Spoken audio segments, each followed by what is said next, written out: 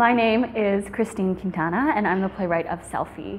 Selfie is a story about three teenagers with really close relationships to one another and how one night and one event changes their relationships forever. Consent is the thing that is invisible in Selfie.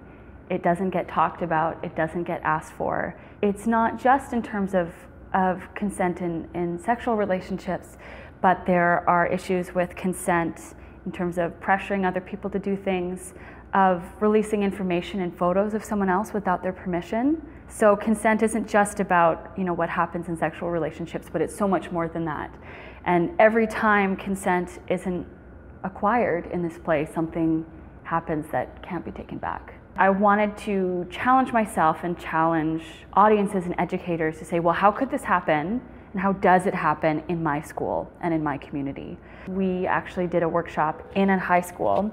It was an all girls private school. After we showed them a reading of the play, um, we asked them, Who do you think is responsible for what happened?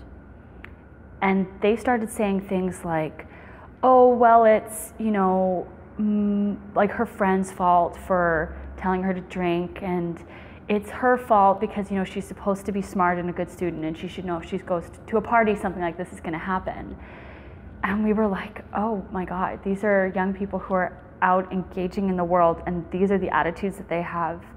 And then eventually one girl said well maybe we shouldn't maybe blame the victim. And they all started going oh that's right like it it's not her fault. It can't be her fault and so even within that moment the conversation shifted. So hopefully when young people see it on stage they see it with characters that are hopefully relatable and that they like that it's not not as simple as like well this is a monstrous thing that monstrous people do and it's it's more nuanced it's more complex and that we're all actually responsible in making sure things like this don't happen.